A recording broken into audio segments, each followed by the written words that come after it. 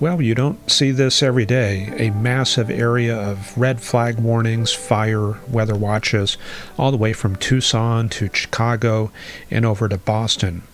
And that's with a rapid warm up, very dry air mass, and temperatures coming up close to 90 degrees in Nebraska. Now, we can see that there is snow on the ground in South Dakota, Minnesota, North Dakota all the way over towards Michigan, but check out these temperatures. 80s at this hour in eastern South Dakota and 70s all the way into Wisconsin. 81 degrees just southeast of the Minneapolis St. Paul area. The combination of those two will trigger extensive snowmelt from North Dakota into the Great Lakes, and as a result, creeks and rivers will overrun their banks and some fields will be flooded. The surface map from late this morning does show the eastern and southern part of the country under high pressure. This is an outgoing polar system which is gradually sinking southeast and modifying. You can see the dew points are in the 40s, signifying a Canadian origin. The moisture return is slow to get started in the Gulf due to this baroclinic weather system south of the Florida Panhandle. Dew points are in the 60s along the Texas coast, but the southerly return flow only showing 40s.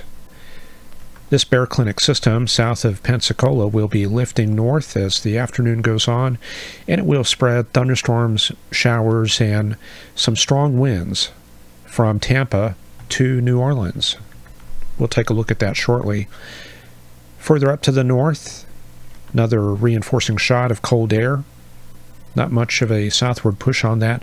Temperatures in the 40s up in North Dakota. And then out west, stormy. The Pacific, of course, stormy on pretty much every day that we've done this weathercast, and today no exception.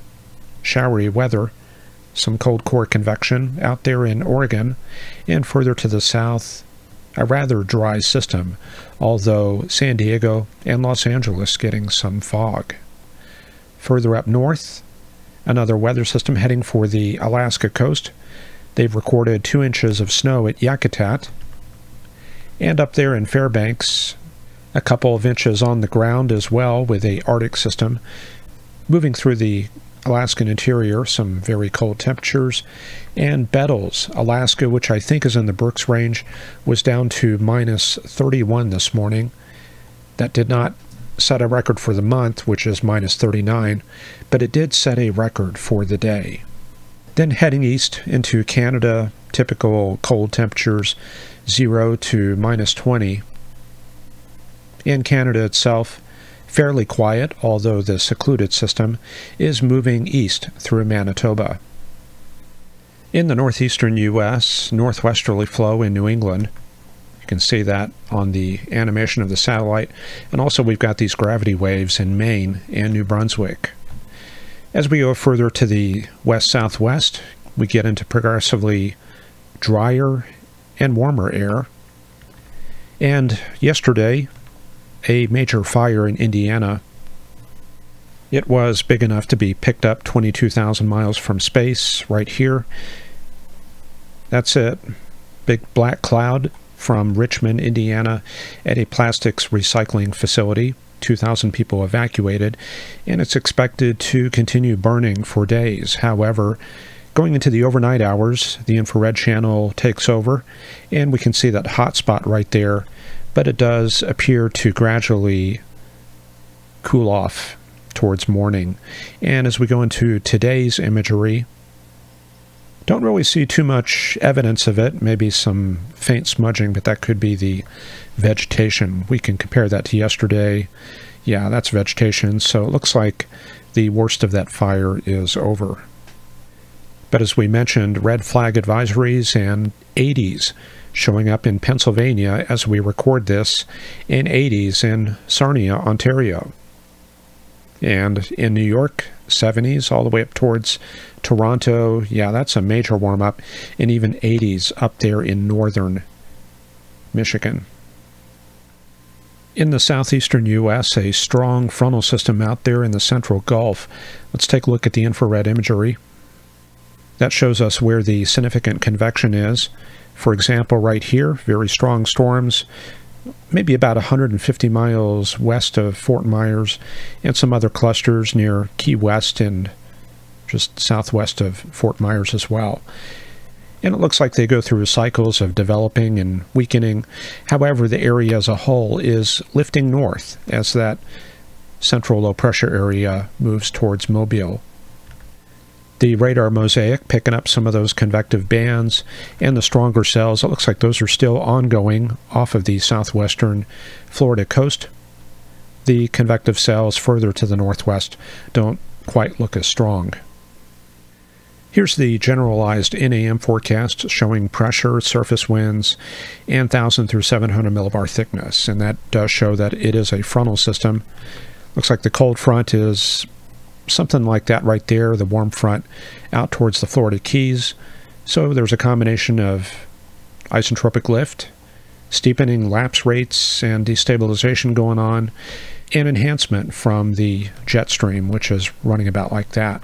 So going into the evening, you can see the whole thing moving north. This is going to be about 8 p.m. Eastern.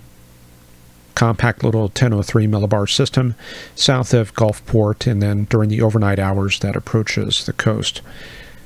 And right around dawn, that's how it looks, making landfall, 1001 millibars, and looks a little bit like a little tropical system. And it moves on inland as the day goes on and still some convective bands out to the east in Florida and Georgia. In the southern plains, some destabilization in East Texas as the instability works on the air mass in that area, but further to the north, it is dry. And as we mentioned, snowmelt problems in the northern tier states, with those 80s and 90s making their way into the Corn Belt. And there's what we're talking about 91 degrees expected this afternoon in South Dakota. Hot temperatures as well in the southwestern deserts, mid 90s in Phoenix, and lower 90s in Tucson, Yuma, and up the Colorado River. The satellite imagery does show westerlies, and we do have a frontal system out there in California and Nevada. And that's it right there. As we mentioned, that is a dry front. And north of that, temperatures in the 30s and 40s, so not terribly cold on the cold side of the boundary. And then up there in the Pacific Northwest, as we mentioned, a cold core system. And with that, we can see the showery weather in Oregon, some of that in the form of snow in Idaho as well. In offshore, you can see all this open cell cumulus signifying a unstable environment and we're even getting a few eddies developing out there over the open ocean. So over the next 72 hours we're going to be seeing that high pressure area from the Pacific gradually working its way into the Great Basin and Rockies. Between now and then, lee side troughing in Colorado, 994 millibar low, east of Denver, and of course that Gulf system will be moving into the southeastern states. As the Pacific system moves into Montana, Wyoming, Utah, snow showers, this is going to be tomorrow morning, and gradually that front will sag to the east, and now we see it appearing by Friday in the Dakotas, cooling things down in that area and reaching Colorado and the Four Corners. Southerly flow picking up in Texas and the western Gulf Coast region. Let's take a look at that moisture field. Here we've got the surface dew points. The orange is going to be 60s dew points, and that yellow is going to be 50s dew points, which is marginally supportive of severe weather.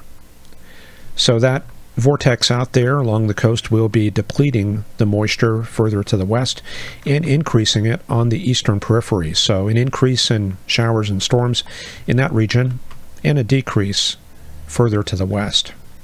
But as we go into Friday, this low pressure area becomes less of a factor in the Gulf, begins to open up, and we see those 60s there in South Texas and 70s further to the south.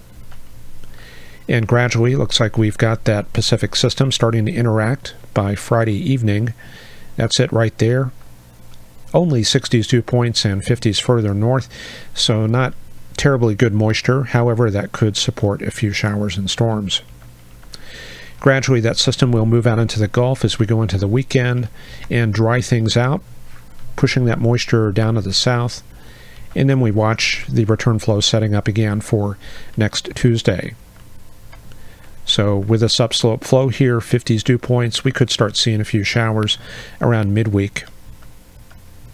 And we'll have to see how things work out for later next week.